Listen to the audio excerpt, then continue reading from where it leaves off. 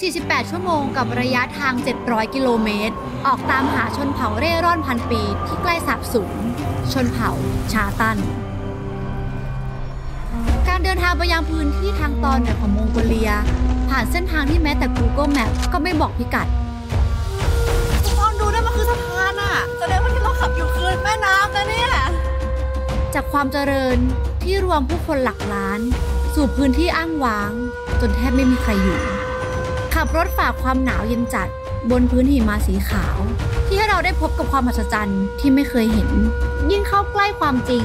ก็ยิ่งตื่นเต้นขึ้นเรื่อยๆระหว่างทางห้องน้ำอ้วอื้อหือมองลงไปเห็นขี้เป็นกองเลยอะ I will show you on the road how beautiful is Mongolia in the winter. เดินทางมุ่งหน้าสู่ชนเผ่าเร่ร่อนไปด้วยกัน กับคลิป 700 กิโลเมตร เดินทางตามหาชนเผ่าที่ใกล้สาบสูญชาตัน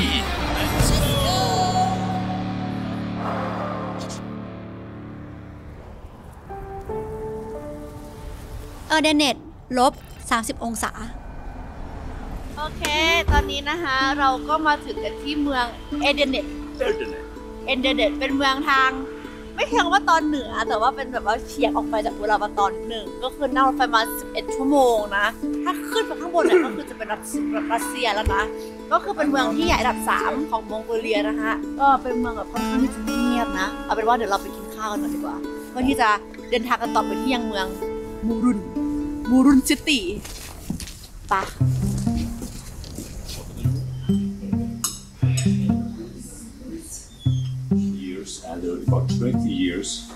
Korean drama was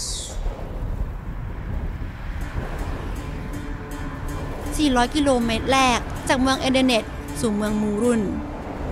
และระหว่างทางที่เราไม่รู้จะเจออะไรบ้างเนี่ย เราก็มีอีกเป้าหมายหนึ่ง ก็คือการถ่ายรูปเพื่อเก็บภาพความทรงจำระหว่างเส้นทางตามหาชนเผ่าครั้งนี้ไปเรื่อยๆ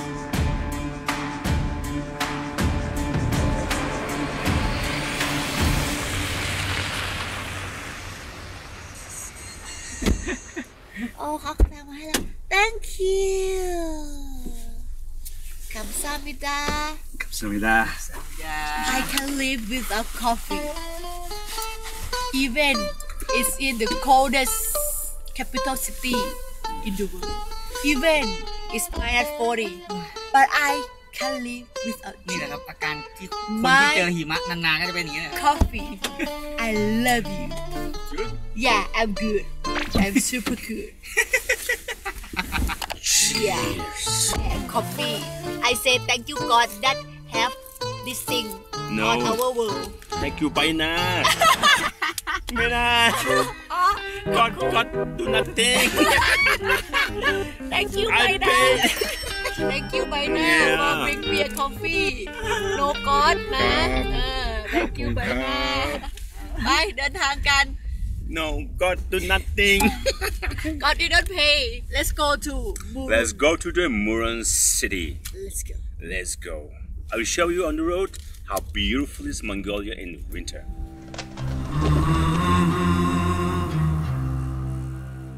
การมุ่งหน้าสู่เมืองมูรุ่นบรรยากาศสองข้างทางเนี่ยเราก็เริ่มรู้สึกว่ามันเปลี่ยนไปเรื่อยๆ รู้สึกห่างไกล แล้วเราก็สัมผัสได้ถึงความอ้างว้างที่มากขึ้นเรื่อยๆ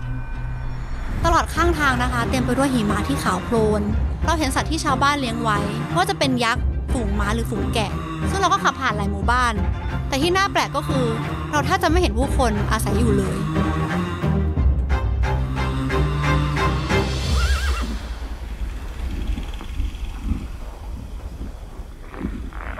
ไปรีวิวห้องน้ำให้หน่อย ทำไมเอาอะไรมันมีอะไร แกไปเจออะไรมา ก็ธรรมดาเหมือนที่เราเคยไปแหละ แต่เรดงเรลาดาก็เหมือนกัน ตอนนี้เราอยู่กันหมู่บ้านจิ๋วๆทำกลางความอ้างว้าง ตลอดเส้นทางที่ไม่มีคน มีหมู่บ้านตั้งอยู่ปุ้งไม่รู้ว่าทำไมเขามาตั้งตรงนี้เนาะ ก็เลยจอดเพื่อพักเข้าห้องนงห้องน้ำนิดนึง เพราะไม่อย่างนั้นเราคงต้องได้เข้าหลังกองหิมะแน่ๆ นี่มีขี้มีคืออะไรเนี่ยแกเหยียบขี้แกเหยียบขี้เหยียบดูอยู่อะ why why you smile Squat toilet. toilet You wanna try? yeah I wanna try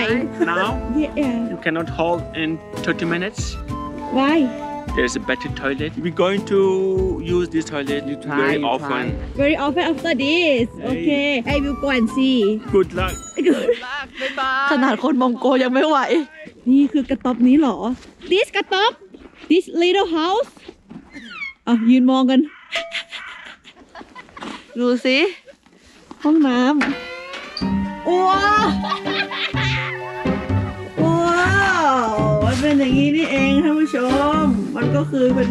แค่กระดานแล้วเราก็นั่งอื้อหือมองลงไปเห็นขี้เป็นกองเลยอะเห็นไหมอื้อหือแต่อย่ามองลงไปเชียวอย่าเอาขาตกลงไปข้างล่างเชียวว้าว big poo Summertime, may I? ซัมเมอร์ถามไม่ได้เนาะ Yeah. โอเค I will wait for 30 minutes As that's better. because for sure, tomorrow you're going to use a nature or this kind of squat toilet. Ah, okay. Yeah. The last few years, Mongolian uh, like tourism mm -hmm. trying to develop this toilet mm-hmm. problem. Mm. But uh, yeah, year by year it's getting better. Mm. About 10 years ago it wasn't like today. Oh. Nowadays on the road there's some restaurant mm-hmm. have uh, the standard toilets. Oh, standard toilet, ma. But it's still underdeveloping. it's developing. Better than nothing. you ได้ ไม่เห็นเหมือนที่เคยเห็นเลยหมายถึงว่าเขาขุดเป็นหลุมใหญ่ๆแล้วเขาก็เอากระดานไม้มาวางวางวางแล้วก็เป็นแง่งให้แบบว่า เราต้องเล็งที่เราอะเป็นร่อง ที่อยู่ในร่องนั้นแล้วพอลงลงไปอะขี้มันก็จะเหมือนแบบเป็นกองๆเหมือนภูเขาอย่างเงี้ยเทินขึ้นมาของใครบ้างก็ไม่รู้ใช่แบบใจสูงๆอะสุดยอดนี่มันคือ ใครกินข้าวอยู่ห้ามดูนะครับ Mongolian style โอเคไปเดี๋ยวเราจะเดินทางกันต่อละ Let's go. let's go ได้วะ what is that Ah, this is a free Wi-Fi. Our car have a Wi-Fi. really Yeah. this is so high technology นะ And good service, you know. let's try this is work or not เนี่ยบนรถเราเนี่ยแหละบอม จริงปะเนี่ย จริง ขอด้วยได้ปะ ไหนดูดิเป็นไง connect the quality of it connect ว้าว พ่อมีชาร์จ Wi-Fi in your car let's see how fast นี่ Ooh we can watch IG story here No problem. You see. thank you โอ้กรี๊ดกรี๊ดมากอันเนี้ยกลางถนนเลยนี่ได้ไงแล้วก็ความไฮเทคอีกอย่างหนึ่งก็คือตรงนี้เว้ย อันนี้ก็คือให้ความอุ่นจากหลัง เมื่อกี้อุ่นตูดด้วยอุ่นตูด ใช่ให้ความร้อนเลย อุ่น High Technology แล้วทุกคนจะเห็นนะคะว่าตอนเนี้ยด้านขับรถเนี่ยจะเป็นด้านซ้าย แต่ว่าคลิปที่แล้วอะจะอยู่ด้านขวาคือด้านนี้ ก็คือมองโกเลียเนี่ยเขาจะมีรถขับได้สองด้านเลย ไม่ได้มีกฎหมายว่าต้องขับด้านขวาด้านซ้ายนะแต่ว่าถนนเนี่ยก็ต้องขับชิดขวานั่นแหละ ขับด้านเนี้ยขับด้านที่ที่คนขับเขาขับอยู่เนี่ยราคาก็จะสูงขึ้น เพราะว่ามันจะมีความปลอดภัยเข้ามาอะไรเงี้ยมากขึ้นอะไรเงี้ยประมาณนั้นนะ Now I wake up No more sleeping. No more sleeping.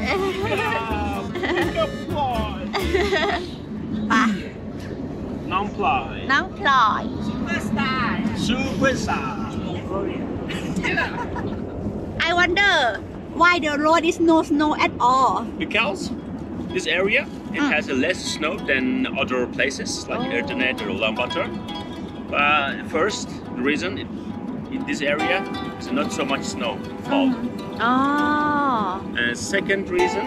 is every time the car is going going back like this, mm-hmm. with tire the snow can flow away. Oh. When ah. the, the snow it's snowing, the fresh snow, mm-hmm. uh, the cars can blow away the snows. Ah, oh, okay. Some area, if they had heavy snow, mm-hmm. we're going to have a problem. But every province, they have uh, some workers who is uh, who always clean and open the, the passages of the อ๋อ mountains. โอเค That's why here is less snow. ตลอดเส้นทางอ่ะ แบบโล่งมากทุกคนแบบแทบจะไม่เห็นอะไรเลยนะ ก็คือมีบ้านแหละ แต่ก็คือไม่ได้เยอะมากถ้าเทียบกับพื้นที่ที่มันกว้างใหญ่ขนาดนี้เนาะ Where are we We're going get- we are now we are getting close the biggest river of Mongolia, Biggest river Selenge River. ถ้าใครรู้จักเล็กไบเขาที่รัสเซียเนาะที่เอเอียคูสมันจะเป็นทะเลสาบที่ลึกที่สุดในโลกอะไรเงี้ยแต่ว่าส่วนหนึ่งอะน้ำที่ไหลอะก็คือไหลมาจากแม่น้ำมันนี้จากมองโกเลียนี่แหละที่เรากำลังจะไปดูกัน แต่ว่าน่าแปลกใจที่ว่ามันเย็นจนถึงขั้นแม่น้ำเนี่ยมันแข็งเลย ก็เดี๋ยวเราจะไปดูกันว่ามันจะเป็นยังไงเนาะโอเค here Mm, this is a river soon, soon few minutes. oh there there Yeah, yeah, yeah. Now it's frozen. You see? อ๋อทุกคนตรงนั้นเห็นปะ นั่นน่ะ Selenga River. คือสแลงริเวอร์นี่คือแม่น้ำที่กว้างที่สุดในมองโกเลียนะทุกคน แต่ว่ามันกลายเป็นแบบ น้ำแข็งหิมะแบบนี้ไปแล้วแข็งเตอะไอ้บ้านกระจกกระแจงพวกเนี้ยเห็นบ้านบ้านที่มันอยู่ตรงกลางแบบที่อ้างว้างอย่างเงี้ยเราถามเขาว่ามันคือบ้านของใครอะเขาไม่ทำอะไรเขาบอกว่าบ้านหลังเนี้ยมันคือบ้านของคนแบบในชนบทที่เขาจะเลี้ยงสัตว์อะไรเงี้ยแล้วเขาจะอยู่กันในตามฤดูกาลก็คือเหมือนคนมองโกเลียเขาจะย้ายบ้านอะทุกๆสี่ฤดูกาลใช่ไหมเพื่อที่จะเอาสัตว์ของเขาเนี่ยว่าจะเป็นแกะเป็นม้าเป็นแพะอะไรเงี้ยย้ายไปตามที่ที่มันอุ่น แล้วก็ที่ที่ยังมีหญ้า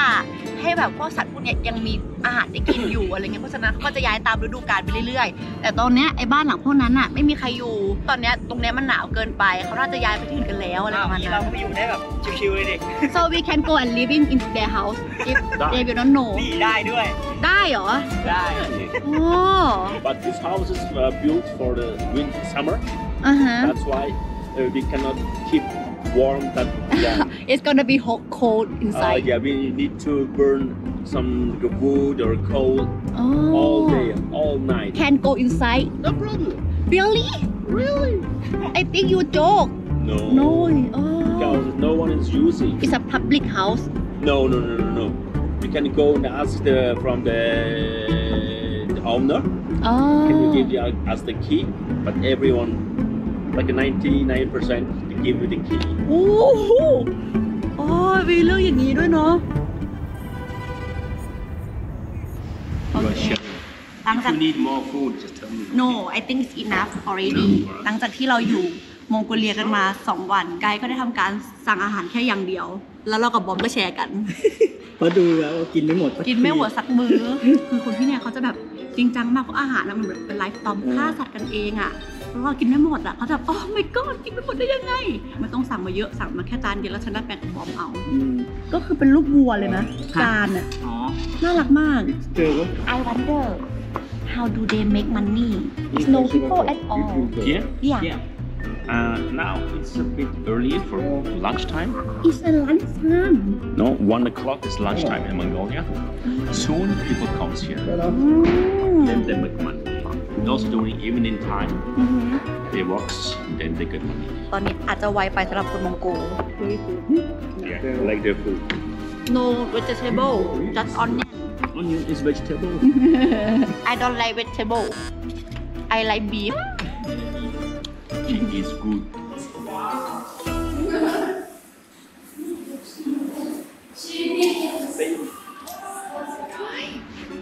Look at that ฉันจะไปเล่นกับแมวข้างนอกนะ มันจะข่วนฉันไหมอะ อุ้ยอุ้ยมันเข้ามาไม่ได้ เข้ามาไม่ได้ลูก เข้ามาไม่ได้ The cat is going inside The cat is going inside ไม่ได้ Let it go I I I try to to to not มันจะข่วนไหมมันจะข่วนไหม No go out แมวมันเข้ามาข้างในพ่อนี่แมวกลับบ้านว่ะแล้วมันไม่ มันมันไม่ดื้อด้วยอะ หนูหนาวไหมลูก นี่มัน leopard เนี่ย leopard จิ๋วเหรอแมวเสือเสือหิมะจิ๋วกลับไทยไหมกลับไปร้อนร้อนๆเลยเอาไหมดูหน้ามันดิอุ้ยสบายอุ้ยหนูสับตาหนูสบายใช่ไหมโอ้ยแกดูแมวดิลองสะดุดฉันจะเอาน้องกลับบ้านละเฮ้ยไปขึ้นรถกันเฮ้ยแกดูขนมันดินี่มันคือแมวมองโกเลียมันน่ารักมากเลยนะน่ารักมากเลยเนาะเออรู้เรื่องด้วยโดนชม ไปปล่อยมันไปเราอะไปได้แล้วโอ้ยไม่เอาไม่อยากปล่อยมันไปปล่อยมันไปเลยเราอะไปแล้วอะไปดูวิวไปดูวิวไปดู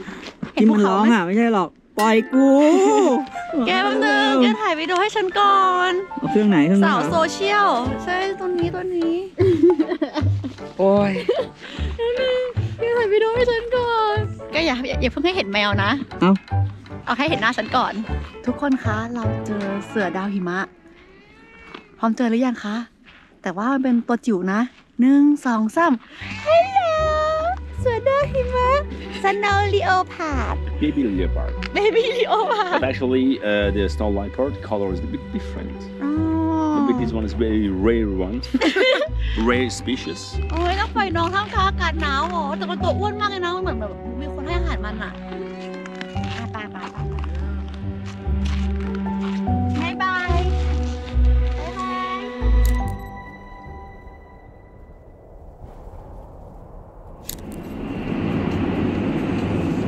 เราก็อยู่กันบนรถแล้วนะคะเมื่อกี้เราก็ได้ทำการคุยกับพี่ใบหน้าแล้วนะว่าทำไมคนเนี่ยไม่ค่อยอาศัยกันอยู่แบบในแบบพื้นที่บริเวณนี้คือไม่ค่อยเห็นผู้คนเลย ถ้าใครที่ดูเมื่อคลิปที่แล้วก็จะได้คำตอบแบบว่าเออส่วนหนึ่งก็คือคนเนี่ยอยากไปอยู่ในเมืองที่แบบว่ามีการศึกษา มีโรงพยาบาลอย่างอุลาบาตอมากกว่าที่แบบว่าหุยคนย้ายไปอยู่แทบจะครึ่งหนึ่งของประเทศมองโกเลียอะไรเงี้ย มันมีอีกเหตุผลหนึ่งเหมือนกัน How why Okay, now you can see the outside. อ่าฮะ This is like a perfect winter for Mongolian animal and Mongolian herders, nomadic people. อือหือ They are called nomads because they have a livestock. อืม They have Mongolia five different uh, animals, domestic animals: อือหือ horse, camel, cows, goat, and sheep. อือหือ And zot, we call it zot. สุด สุดปรากฏการณ์ทางธรรมชาติที่สภาพอากาศเปลี่ยนแปลงรุนแรงจนทำให้สัตว์ล้มตาย And two type of the zot we have. One we call Tsagan zot, it's white zot. อือหือ Another one is a black. White zot is it snow too much. อือหือ If there's a lot of snow, maybe more than a 50 centimeter to maybe until one, sometimes it can be like two meter high snow. Animals cannot dig up the, the snow อ่า to find the grasses. อ๋อ ก็คือสัตว์ที่เขาเลี้ยงเลี้ยงๆกันน่ะ ก็คือไม่สามารถแบบขุดหาพวกหญ้าพวกอาหารกินได้ในช่วงเวลาไว้สุด White zone. อ่า Then they die อ๋อ because of ก็ตาย hunger. อ๋อ ก็หิวตาย No ไปเลย food. And black zone is a no snow. If there's a หิมะ no ไม่ no ตก snow, อือหือ snow is also the source of the water. They Ah. just eat the snow. They don't need the water. อืม If there's a no snow, it's Mhm. all brown. อืม They can eat easily the grass. อ่าฮะ But without the water, อือหือ every animal will die, same as human. อ๋อ and at that time in 2001 to 2002 it have a big suit Yeah, we had a okay. The last 40 years, we had the biggest tooth was in 1996, อ๋อ 1996 ก็จะมีแบบว่าสุดครั้งใหญ่ and we lost about 50% of livestock of Mongolia. สัตว์ตายไป 50%ทั้งประเทศ And after that, just a few years later, Mhm. 2001, -hmm. we had another drought. It was not harsh, but we already lost about half of the livestock uh -huh. and again, and then we lost another 40% of animals that left from 1996. And the second drought uh, nine, 2001, but Mhm. it was so difficult for Mongolian. สมมติว่าแกมีล้านตัวตายไปแล้วห้าแสนตัวคนที่เลี้ยงอะ ไม่มีนมมาให้กินหรือไม่มีอะไรส่งออก คนเขาก็แบบอาเซียไปเยอะมากๆแล้วนะในปีนั้นแต่ในปี 2001 ก็เกิดอีกเรื่องซุดอีกรอบนึง ตายไปอีกเกือบครึ่งหนึ่งของประเทศก็คือครึ่งหนึ่งไปแล้ว อีกครึ่งหนึ่งอีก โหก็คือสัตว์แทบจะเหลือน้อยมากๆ คนเนี่ยที่ไม่มีสัตว์เนี่ยเขาก็เหมือนแบบสูญเสียงานของเขาไป คนพวกเนี้ยที่อาศัยอยู่ตามชนบทในมองโกเลียอะไรเงี้ยเขาก็ต้องย้ายถิ่นฐานเขาเนี่ยไปสู่ในเมืองหลวง เพื่อหา opportunity แบบเพื่อหาเส้นทางใหม่ๆลู่ทางใหม่ๆในการดำรงชีพอะไรเงี้ยก็เลยเข้าไปในอุลาบาตอทำให้แบบในช่วงนั้นเนี่ย 20 ปีแบบที่ผ่านมาเนี่ย เปอร์เซ็นต์ของประชากรในอุลาบาตอเนี่ย พุ่งสูงขึ้นอย่างรวดเร็วเพราะคนเนี่ยย้ายไปอยู่ที่นั่นกัน แต่ว่าคุณใบหน้าบอกว่าในปัจจุบันคนก็เริ่มที่จะกลับมาอยู่ในชนบทมากขึ้นแล้ว เพราะว่าในอุลาบาตอเนี่ยคนเริ่มอยู่เยอะเกินไป งานเริ่มหายากบ้าง คนก็เริ่มย้ายมาอยู่ใน e r d e n e t something like that they Yeah. move to e r d e n e t move to another province Yeah, provinces. Also, the early 2000s, because of we lost many animals. อ่าฮะ Also, Mongolians, we found many golds all around the country. นอกจากที่คนส่วนใหญ่ในปี 2001 เนี่ยที่เขาแบบเกิดอุทกภัยอะไรพวกเนี้ย คนย้ายไปในอุลาบาตอใช่ปะนอกจากนั้นแล้วเขายังเจอเหมือง เจอเหมือนแบบขุมทรัพย์ที่จะหาเงินได้ คนก็เลยเหมือนย้ายเข้าไปทำงานขุดแร่อะไรเงี้ย ใช้แบบอุปกรณ์เท่าที่มีอะ ในการขุดหาแร่ ก็กลายเป็นรวยไปเลยนะไปถึงว่าเจอแร่เจออะไรก็เป็นอาชีพที่แบบโอ้ยมีตรงมีตังเลยก็เหมือนในเมืองเอเดเนตเราที่แบบว่าก็จะเห็นแบบเป็นเหมือนอาชีพหลักของในเมืองนั้นอะไรอย่างงี้ใช่ไหมแต่ว่าบางคนที่ไม่สามารถหาได้ มันสุดทางจริงๆอะแบบสัตว์ก็ตายไปแล้วแบบว่างานก็หาไม่ได้กลายเป็นเหมือนแบบคนติดยาคนเมาเหล้าไปเลย อยู่แบบตามภูเขาอยู่ตามแบบข้างนอกอะไรเงี้ยชีวิตของคนมองโกเลียที่เนี่ยเขาจะต้องย้ายถิ่นฐานเขาไปตามฤดูกาลเพื่อให้สัตว์ของเขาอะ ตามหาหญ้าอะตรงนี้หญ้ากินหมดแล้ว ฉันต้องต้องย้ายบ้านเพื่อไปตามหาหญ้าที่ใหม่อะไรเงี้ย เพราะฉะนั้นน่ะชีวิตของเขาที่เป็นเหมือนเกษตรกรคนที่เลี้ยงสัตว์หรือว่าชาวเร่ร่อนพวกเนี้ยชีวิตเขาจะขึ้นอยู่กับสภาพอากาศ สภาพแวดล้อมในแต่ละปีว่าอะถ้าปีไหนฝนตกดี ปีนั้นก็จะแบบว่าทำการเกษตรทำอะไรได้ดีอะไรเงี้ยแต่ถ้าปีไหนแบบแย่มากๆ ชีวิตเขาก็จะแย่ตาม ไม่สามารถแบบคอนโทรลได้ และนี่ก็คงจะเป็นหนึ่งเหตุผลของการใกล้หายไปของชนเผ่าชาตันที่เรากำลังจะเดินทางไปในครั้งนี้ด้วย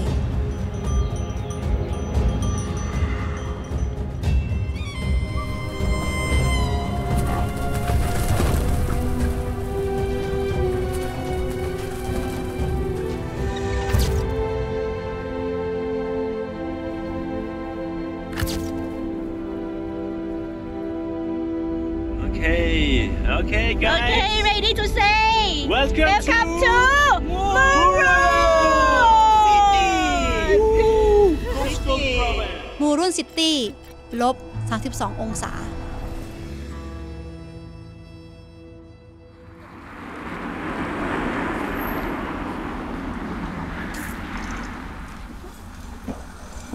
Hey. ว่ายังไงเดี๋ยวเราต้องบอกลารถคันนี้แหละ จริงปะเขาจะมาส่งเราแค่นี้อ่าแล้วทีนี้อะเพราะหลังจากนี้ ถนนจะไม่ใช่แบบนี้แล้วจ้ะถนนจะเป็นขรุขระและเราต้องใช้รถจี๊ป นี่เป็นแค่จุดเริ่มต้นเท่านั้นเหรอ ฉันนึกว่านี่ฉันนึกว่านี่คือเริ่มต้นแล้วนะ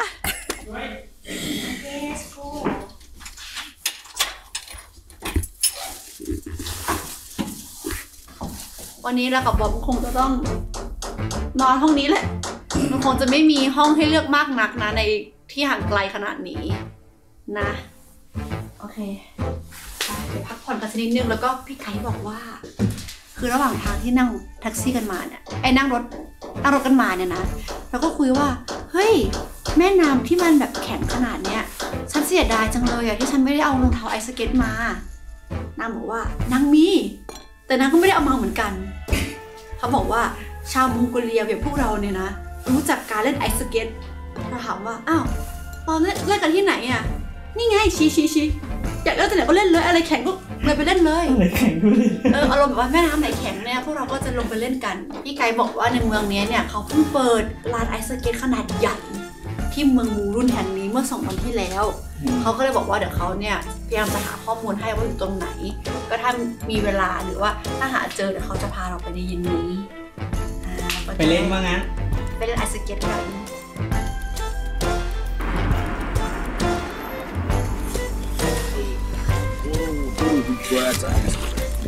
go inside Yeah, go inside, please. oh what are you doing what are they doing it's very hot. Cold inside. Making make it hot. ให้มันอุ่นจนจนมันใส่รองเท้าได้ โอเค Now. โอ้ไอสเก็ต Yes. นี่จะเป็นการเล่นไอสเก็ตในรอบหลายสิบปี You ข know องเรา how to make it, yeah? no not at all just kidding you will play with me No. no that's only me Only you. no that's We so are audience. We're going to clap our hands up. เรามีเพื่อนแล้ว you learning yeah got friend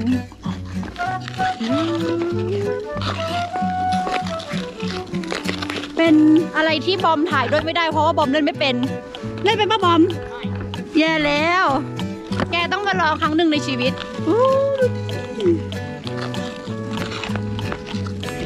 มันเป็นบ้านอย่างเงี้ย อุ้ยอุ๊ยเชี่ยเชี่ยเชี่ยเชี่ยมันเป็นบ้านอย่างเงี้ย เป็นเหมือนแบบตู้คอนเทนเนอร์มาวางเอาไว้ แล้วก็มีคนอยู่ข้างในแล้วให้เราเช่ารองเท้าเล่นไอสเก็ตได้หนึ่งชั่วโมงห้าสิบบาท ว้าว very cheap นะ very good นะ ถูกมากที่ไทยที่เป็นร้อยเลยนะไอสเก็ตอะ ทุกคนดู นี่ อุ้ย it's frozen it's frozen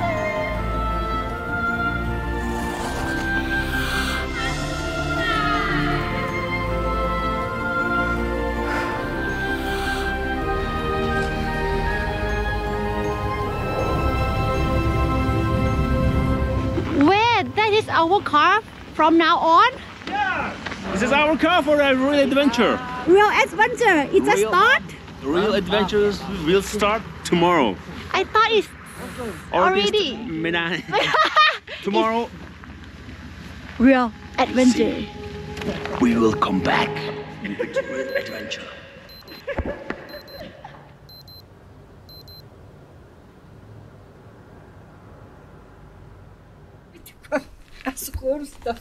It's this doesn't. Ой, тэг бенз автах шүү дээ. Байхгүй юу? Чөтөр чи битэр чи.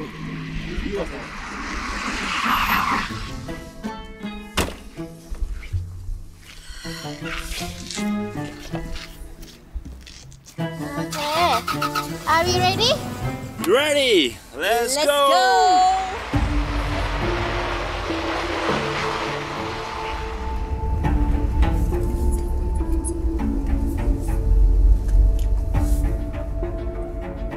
เช้าวันใหม่เราก็เริ่มออกเดินทาง จากถนนที่สามารถขับตาม Google Map ได้เนี่ย สู่เส้นทางออฟโรดที่แท้จริง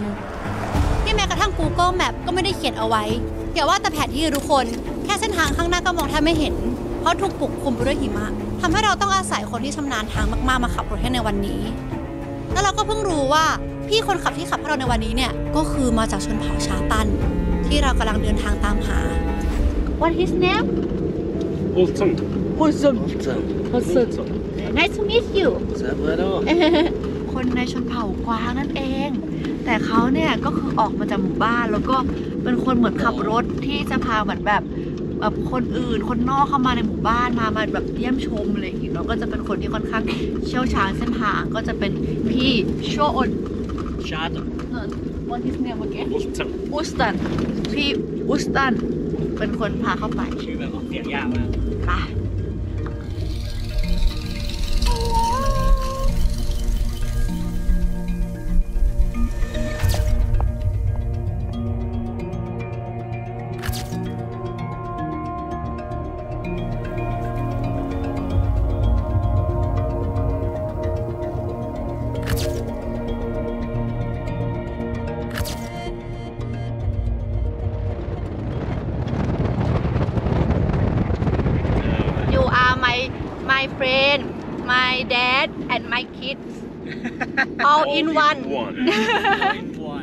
ทุกคนดูนะมันคือสะพานอะข้างหน้าเราอะแสดงว่าที่เราขับอยู่คือแม่น้ำนะเนี่ย โอ้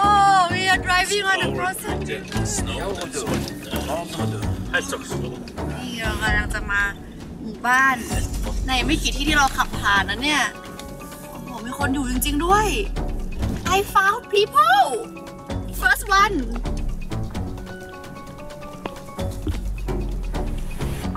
โอเคก็เดี๋ยวเราจะมาดูกันนะคะว่า ไอ้ร้านค้าที่แบบอยู่ท่ามกลางแบบภูเขาขนาดเนี้ย แบบคนน้อยมากๆเนี่ยเขาจะขายอะไรข้างในนะโอ้ Well below. Like this on the road. You have some places like this, like a shelter. If you need some bed, you can sleep. really Like a, like a truck drivers, อ๋อ for example. ก็คือเขาก็จะมีเหมือนแบบเป็นเตียงให้แบบคนที่ผ่านไปผ่านมาอยากมาพักก็มานอนได้อะไรอย่างเงี้ยอารมณ์แบบเก็ตไหมว่าอยู่กลางทางมันมันห่างไกลกันมากๆอะสมมติถ้าเกิดอะเกิดเกิดหิมะเข้าหิมะตกหรือทางไม่มีอะไรเงี้ยก็สามารถมาแบบมานอนที่นี่ได้แล้วเขาก็จะมีเหมือนอาหารขายทุกคนก็คือรามยอนเป็นเหมือนมาม่าบะหมี่กึ่งสำเร็จรูป มีบุหรี่มีขนม มีน้ำโค้กมีอะไรอย่างเงี้ยก็เหมือนของง่ายๆที่มันแบบ จำเป็นก็ไปแบบซูเปอร์มาร์เก็ตต่างจังหวัดนั่นแหละแต่ไม่ได้เยอะมากมากมายอะไร แต่มีแค่นี้ก็ถือว่าดีแล้วนะก็ถือว่าดีแล้วนะ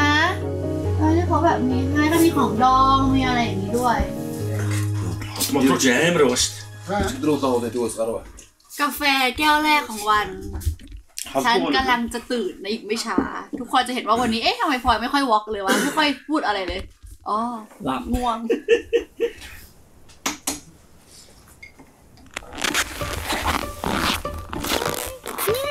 นั่งลง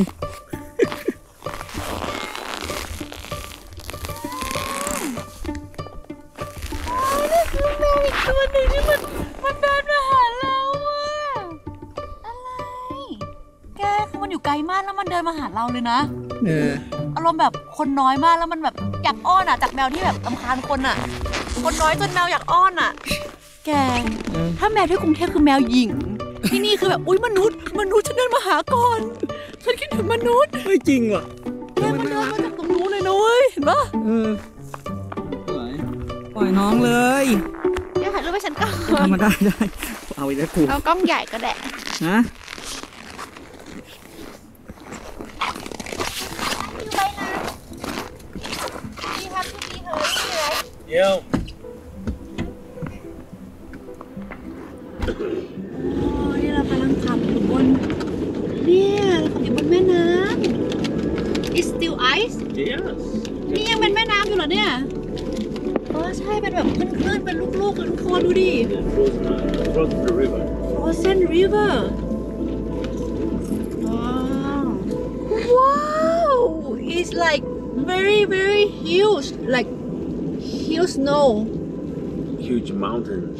10 true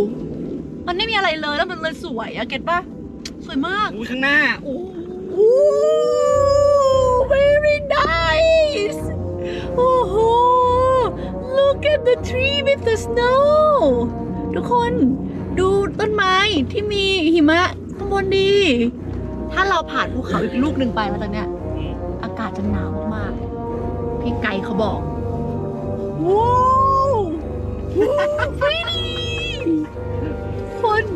สวยมากแต่ไหนออกให้โอ้ยโอ้ยสวยมากสวยมากสวยมากสวยมากสวยมาก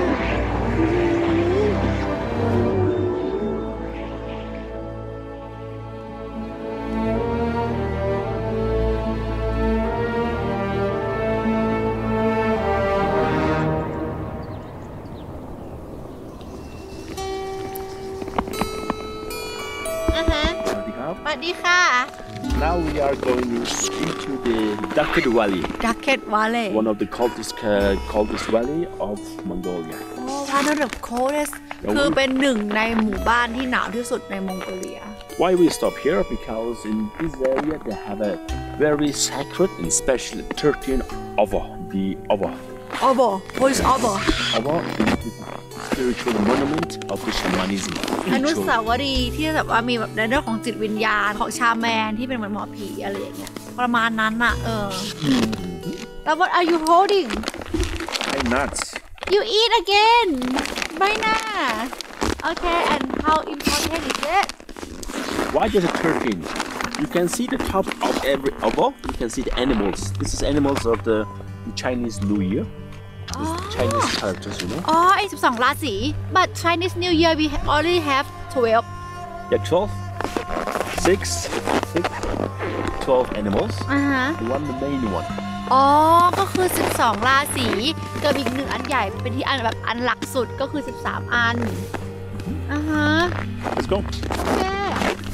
พี่ฟอสไปหน้า Go. ยังแพ้ให้ทัวร์อีก จะเดินจริง To give some gifts to the Abba. อ๋อ Then this is the pine เขาจะให้เรากิน นั่นน่ะสิเห็นเขายืนกิน นั่นน่ะ we สิ just throw it Let's go. Like this. โยนขึ้น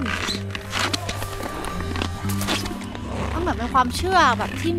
มิกซ์ความเชื่อกันแบบว่าความเชื่อที่ผสมผสานกันก็คือความเชื่อฝั่งฝั่งชาวจีน กับความเชื่อแบบชาแมนแบบดั้งเดิมของมองโกเลียอะไรเงี้ยก็จะมีผ้าอยู่ 5 สี ก็คือสีน้ำเงิน สีส้ม สีเหลือง สีเขียว สีแดงอะไรอย่างเงี้ย คนเนี่ยจะมาผูกกันเพื่อขอพรนั่นเองอืมหลังจากลงไปประตูนี้ อากาศมันจะเย็นลงนาทุกคนก็คือหมู่บ้านที่เย็นที่สุดแห่งหนึ่งในมองโกเลีย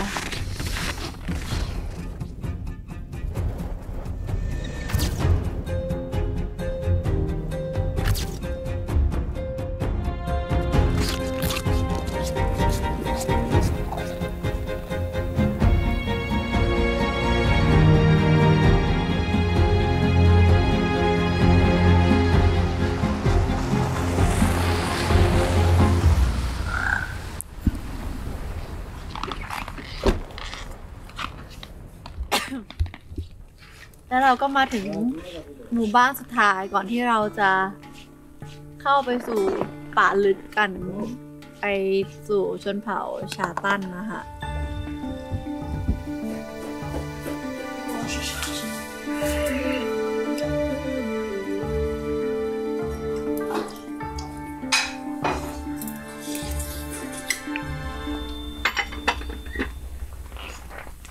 ตอนนี้เราก็กินข้าวเสร็จแล้วนะคะ แต่ก่อนที่เราจะเดินทางกันต่อประมาณ 120 กิโล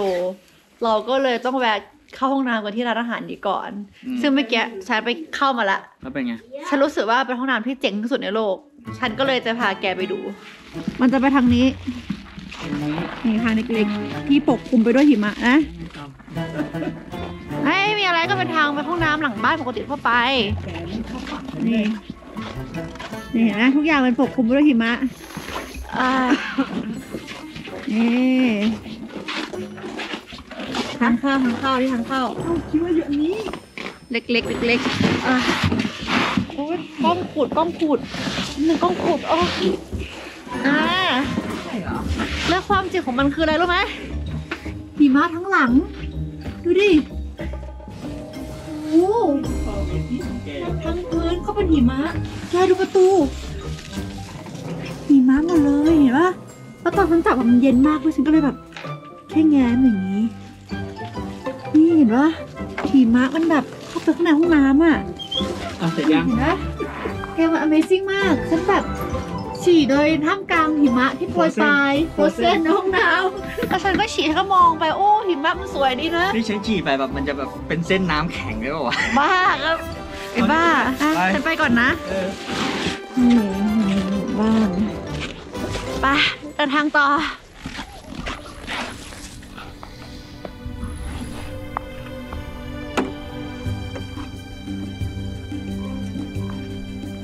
โอเค หลังจากนี้เราก็ where we gonna go next Now we're going to go to Chagan North. second nol Chagan North. second nol Yes. ร้อยยี่สิบกิโลหลังจากนี้นะคะ ก็คิดว่าเราจะไปทันก่อนพระอาทิตย์ตกนะเพราะร้อยยี่สิบกิโลในทางออฟโรดที่แบบมีแต่หิมะเนี่ย ก็ค่อนข้างที่จะ ยากลำบากเขาบอกว่าสี่ชั่วโมง ก็เดี๋ยวมาดูกันว่ายังไง แต่ว่าอากาศเย็นขึ้นเรื่อยๆนะ เป็นไงรีวิวเข้าห้องน้ำเมื่อกี้นี้เป็นอะไรที่ Amazing ตามที่พี่กระพอยบอกมา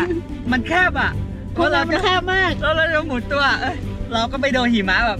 เสื้อมันใหญ่ไงเออหลบหิมะข้างในห้องน้ำบอกแล้วเป็นห้องน้ำที่ Amazing มาก ฉันฉี่มาฉันมองไป เออ สวยดีนะ สวยดีนะ ศิลปะนี่ทุกคนเห็นข้างหน้าไหมก็คือ ไม่มีถนนเลยค่ะ นี่คือเราฝ่าฝูงหิมะเข้ามาข้างในโดยที่เราไม่รู้เลยว่าข้างล่างน่ะมันเป็นยังไง แต่ด้วยความเชี่ยวชาญของพี่คนขับรถของเรานั้นเขาก็พาเราขับเข้ามา แบบนอกเส้นทางแบบโดยที่ไม่เห็นอะไรเลยอะไม่เห็นเส้นทางรอรถด้วยซ้ำมาทุกคนดาร์เคดวอลเล่ลบ 35 องศา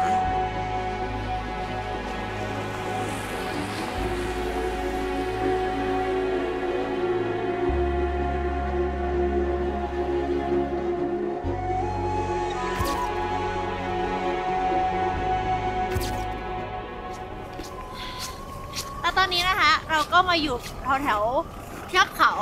ดักถึงดักถึงวิลเลจนะ ก็จะเป็นวิวอย่างเงี้ยทอดยาวไปเป็นร้อยกิโลเลยนะคะ เราออกเดินทางสู่ป่าลึก 120 กิโลเมตรสุดท้าย เส้นทางที่เข้าใกล้ความจริงขึ้นเรื่อยๆ และอากาศเนี่ยก็หนาวขึ้นเรื่อยๆ แม้กระทั่งม้าหรือแกะระหว่างทางที่เราเคยเห็น ก็แทบจะไม่มี มันคงจะเป็นเพราะว่ามันน่าจะยากต่อการใช้ชีวิตอยู่ ขนาดตัวเรา หรือกล้องโดรนที่เราบินอยู่เนี่ย ก็แทบจะถ่ายไม่ได้ อันนี้ก็คงจะเป็นความหนาวและความว่างเปล่าที่แท้จริง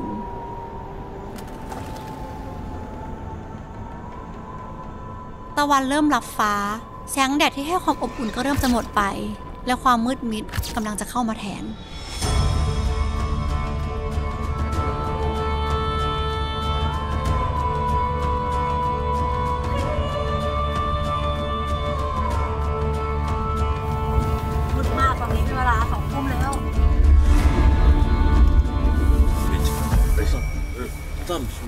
บ้านชาตัน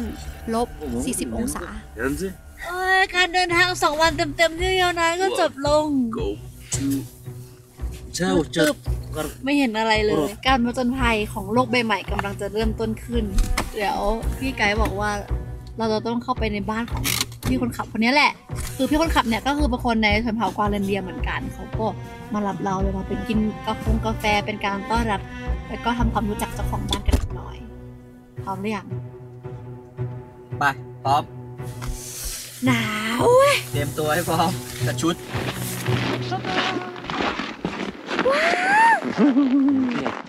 สุเรนเดียบอมเฮ้ยนี่คือครั้งแรกเลยนะที่ได้เห็นน้อง Why you so cute you so fluffy touch touch เอาชื่อชาอุ้ยอุ้ยอุ้ยอุ้ยอุ้ยอุ้ยอุ้ยอยู่เต็มเลยบอมนี่เราอยู่ท่ามกลางไม่เห็นกวางเล่นดีของจริง โอ้ยก็เรามาถึงแล้วชนเผ่าชาตันและนี่ก็คือเรื่องราวการเดินทางสองวัน ที่เส้นทางเกือบพันกิโลเมตร จากเมืองใหญ่สู่ความหนาว และความอ้างว้างที่แท้จริง แต่นี่ไม่ใช่จุดจบนะคะทุกคน แต่มันเป็นแค่การเริ่มต้นเท่านั้น คลิปหน้าเราจะเริ่มใช้ชีวิต 24 ชั่วโมงแรกในชนเผ่าเร่ร่อนพันปี ที่ใกล้จะสาบสูญไปใช้ชีวิตเต็มรูปแบบบนพื้นที่ห่างไกล ที่หลายๆคนอาจจะหลงลืมเขาไปในไม่ช้า ซึ่งจะเป็นยังไงนั้นก็ฝากติดตามด้วยนะคะ แล้วเจอกันใหม่คลิปหน้าค่ะ